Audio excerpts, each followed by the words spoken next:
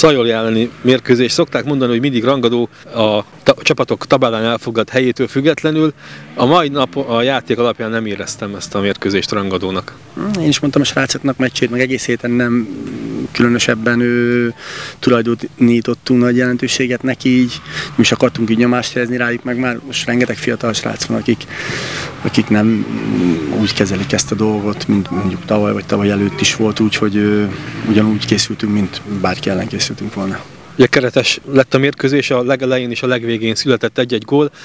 A közepéről, nem is tudom, olyan, olyan szürke volt az első fél idő a gól után nekem. Hát igen, sajnos múlt héten is így játszottunk már, nem ez az, e, nem, nem, sajnos nem lepődtem meg rajta.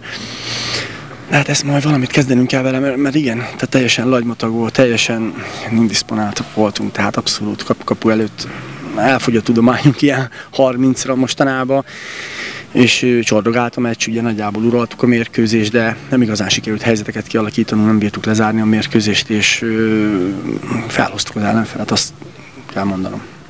A második fél elején vo- voltak ugyan helyzeteink, de gólt ekkor sem si- sikerült szerezni. Nem, nem, abszolút nem, nem nagyon kevés helyzetet tudunk kialakítani. Ehhez nyilván kell az ellenfél is, mert én azt gondolom, hogy szervezettek voltak, jól védekeztek, és így ezzel a felállt védelemmel azért meg, meg meggyűlik a bajunk, de hát szerencsére azért csak sikerült felőrölnünk, tehát annyira elégedetlen nem lehetek, de, de nyilván van, van mit javítanunk.